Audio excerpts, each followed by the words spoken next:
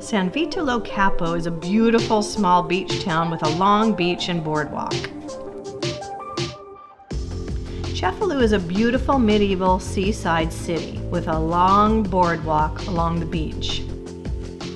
I did a separate thorough vlog on each city, so you can watch and see what each town has to offer. Okay, we're here in Cefalù. It's so beautiful here. Both the city and the boardwalk have tons of hotels, restaurants, cafes, bars, and gelato shops.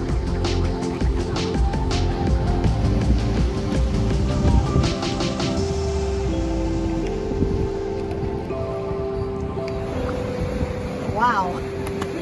What more is there to say?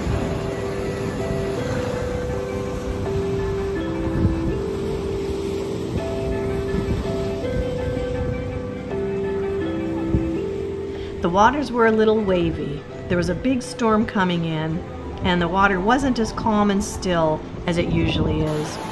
Still beautiful, nevertheless.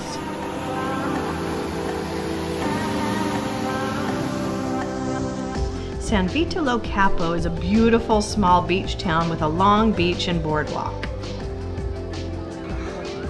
We're in San Vito Lo Capo and it's just crystal clear water, beautiful beaches. The terrain of Sicily is unlike anything I've ever seen. It's a humongous island. It's really, really beautiful. This water is crystal clear. I will definitely come back to this water for sure. Both the town and the beachfront boardwalk have tons of restaurants, cafes, bars, shops, gelato shops, the usual.